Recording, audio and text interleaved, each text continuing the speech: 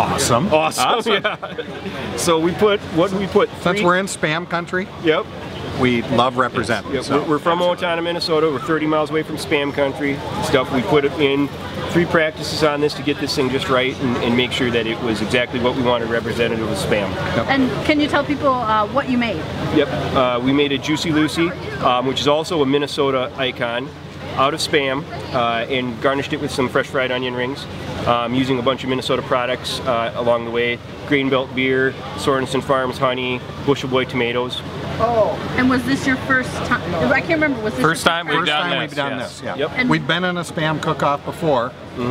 Did you win that one? We did. You did. So you're We did. In fact, two. we were competing against each other, and Yes, that's what got our oh, teams that was, together. That was got our teams together. We competed in a backyard spam cook-off at Smoking and Steel, and they won the spam cook-off and copying their logo. copying our hog logo because me and my wife started the team, and they uh, they actually um, won the spam cook-off. And that day, both of our separate teams were reserving grand champion a backyard event.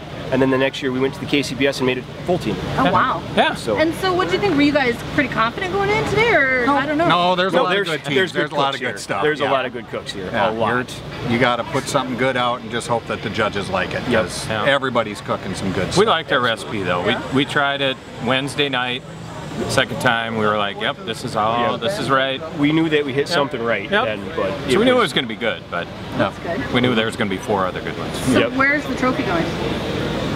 Oh, it'll be a traveling trophy. traveling trophy or Mounted on the hood of our truck, maybe? sit I don't know.